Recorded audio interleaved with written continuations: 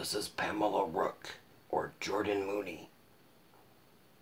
She was a model, actress, author, band manager, and veterinary nurse that lived between 1955 and 2022.